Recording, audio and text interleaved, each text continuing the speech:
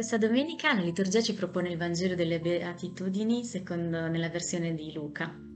La prima cosa che mi affascina delle Beatitudini e che penso che sia preziosissima e che invece tante volte rischiamo di, di perdere per strada è un'idea di bellezza, di bene, di felicità che sa tenere insieme il buio e la luce e, e, questo è quello che veramente desideriamo, anche se tante volte è più semplice dividere totalmente questi due ambiti, no? quindi parlare di un Dio, di una bellezza, di una felicità, di un bene, senza sfumature, tutto luce, basta.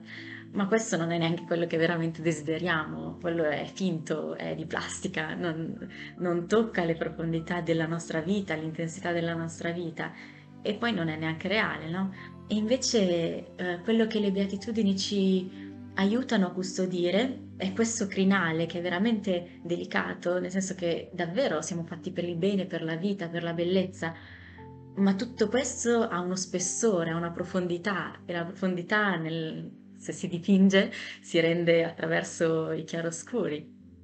E così le beatitudini mi sembra che ci aiutino a custodire questo, questa profondità della bellezza, profondità della felicità, profondità di Dio, che non è semplicemente tutto luce, perché non ha più neanche tridimensionalità una cosa che è solo tutta luce, e invece è qualcosa di, che tocca gli abissi più profondi che ci sono dentro di noi e da lì nasce una bellezza diversa, una bellezza e una felicità che ha dentro anche tutta, che non, non perde tutta tutte le nostre contraddizioni, tutti i nostri passaggi. E, e, questo penso che sia veramente preziosissimo, tanto prezioso quanto facile appunto da, da perdere. E la particolarità di quello che è il racconto di Luca rispetto alle beatitudini è che insieme alle beatitudini ci sono anche i guai, cioè alle beatitudini corrispondono dei guai, no?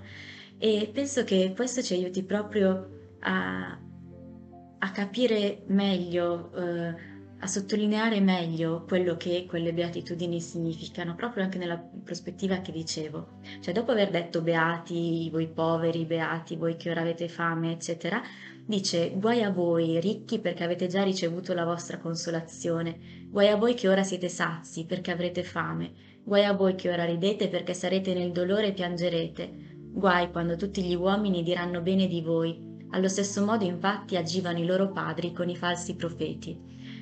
E mi sembra molto...